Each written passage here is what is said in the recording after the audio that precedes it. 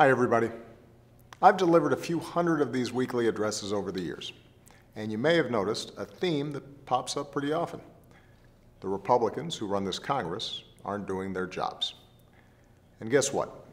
Congress recently returned from a seven week vacation, and they've only got two weeks left until their next one. But there's a lot of business they need to get done first. First, even as we're seeing more and more Zika cases inside the United States, they've refused to fund our efforts to protect women and children by fighting Zika in a serious way. Second, they still need to provide resources to help the people of Louisiana recover from last month's terrible floods and to help communities like Flint recover from their own challenges.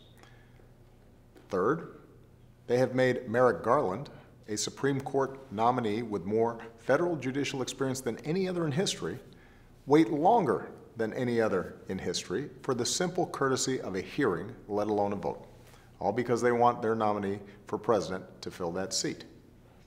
And there are plenty of other bipartisan priorities they should finish this year as well.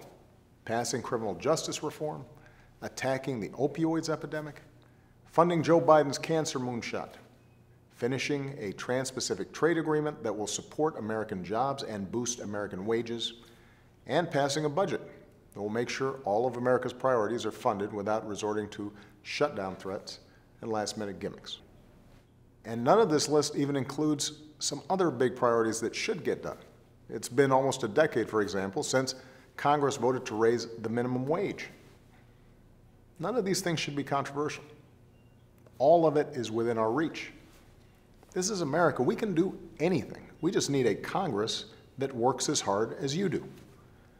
At the very least, we should expect that they should do their jobs and protect us from disease, help us recover from disaster, keep the Supreme Court above politics, and help our businesses grow and hire. So, if any of these priorities matter to you, let your congressperson know. And if they still refuse to do their jobs, well, you know what to do in November. Our government only works as well as the people we elect, and that's entirely up to you. Thanks, everybody, and have a great weekend.